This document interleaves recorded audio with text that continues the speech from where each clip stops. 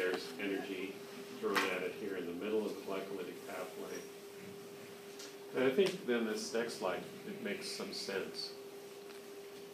Here is, on the y-axis, energy changes, so this is the starting point at glucose, and we're seeing the delta G associated with each step of glycolysis.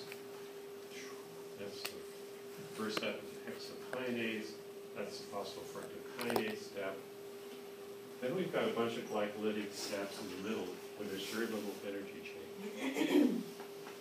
These, because there's very little energy change, by mass action, you can push them either direction. It's not so much uphill if you're going from there to here. It doesn't, you know, there's hardly any change in the energy landscape. Until you get down here to pyruvate kinase, that's the last step to get to pyruvate, another big energy drop there. Guess which ones are bypassed in gluconeogenesis? These three where there's big drops in energy in glycolysis. Boom, boom, boom. Those are the ones that would be hard to reverse.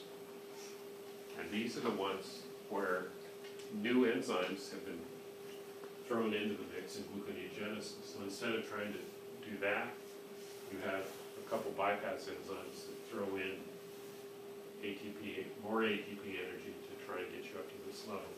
These enzymes, you can share them in both pathways because there's no little, little or no energy change. But then up here, instead of trying to remake this ATP or remake that ATP, you bypass those. So those are, where the blue arrows are, are the three places where gluconeogenesis has bypassed.